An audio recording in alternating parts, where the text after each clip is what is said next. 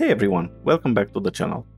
In today's video, we are going to talk about something super useful for developers and system administrators, and that's how to convert a PowerShell script into a standalone exe file and use it as an application. Automation is key in software development and system administration. Sometimes you need to ensure that a PowerShell script runs every time an application is launched. One solution is to link the script to the app's shortcut but an even smoother approach is converting the script into a standalone executable.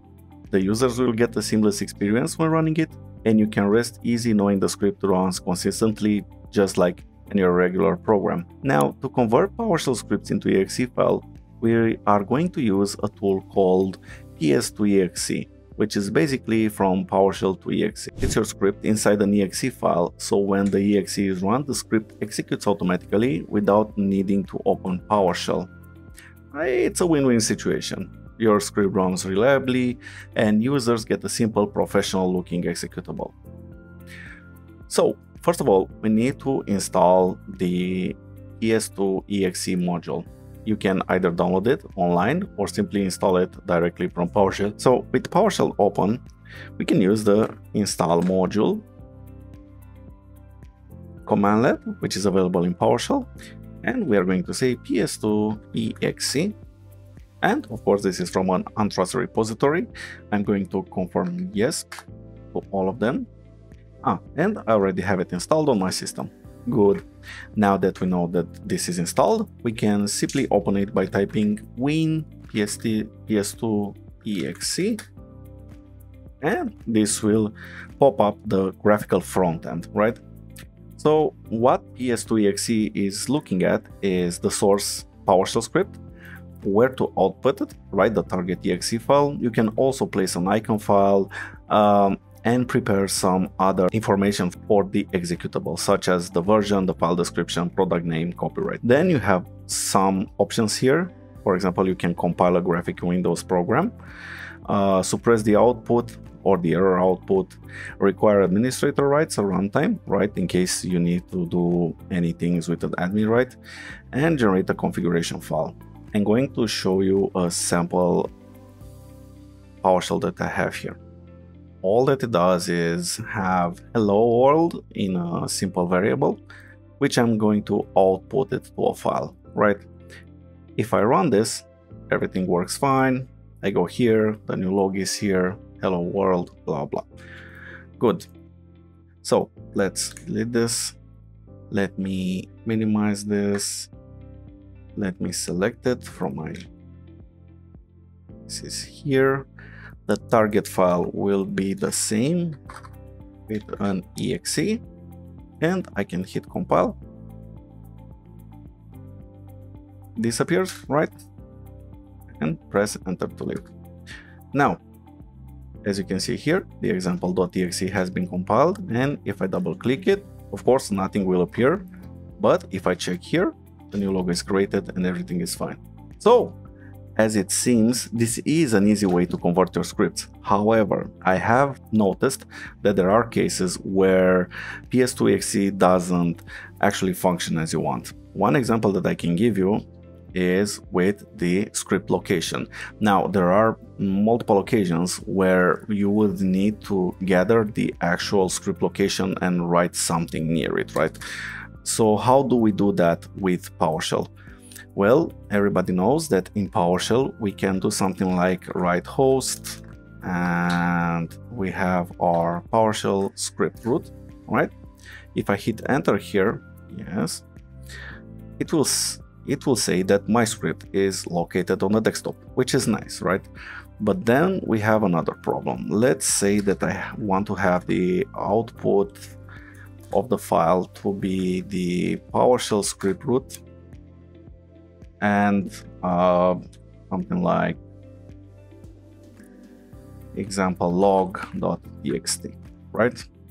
And instead of writing the file to this location, which is actually hard coded right now, I'm going to use this variable here, right? So I want to write everything variably, right? Let's save the script. Let's go back this guy. I'm going to delete the example.exe that I have here on my desktop. Okay, so this is deleted. Cool. Okay, and now I'm going to compile it again. Give it some time. There you go. Now it's compiled. And if I double click it again, you see here access to the path cexample.log.txt is denied. Why is this happening?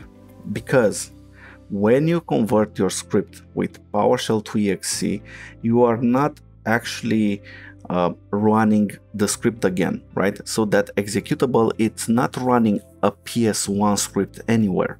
That specific code that you have inside your PowerShell is transposed inside the exe file and your code is actually encapsulated inside that exe file. Now, if we have a look at uh, the JetBrains dotPeek, which is an awesome application actually, if we open up our example exe right and go to the main application now you will see here that you have this string right here right? String one encoding blah blah.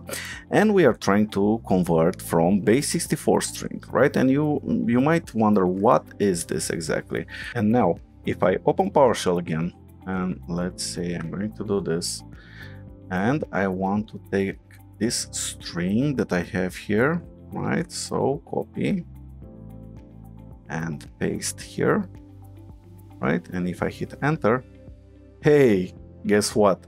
It's exactly our script right here. What PS2exe is doing, is, it's actually a whole program behind it. And in your main application, your code is encoded into base 64 and then decoded at runtime. And here is where the problems appear that you might have some instances where your PowerShell scripts will not work as expected. This is just an example I've encountered many, many times.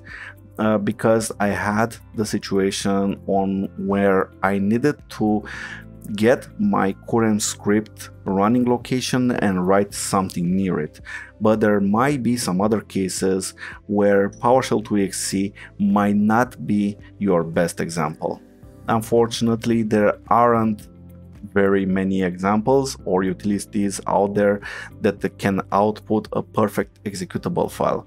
I know that technically PowerShell is based on .NET, but again it's the way you are running it.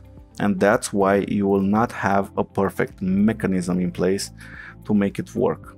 Now that you have created the exe you can also integrate it into a software package right? And you can do that using advanced installer. And it's quite easy.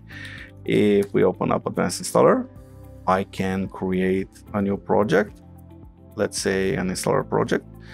I can go into files and folders and in the application folder I can simply just drag and drop my example.exe.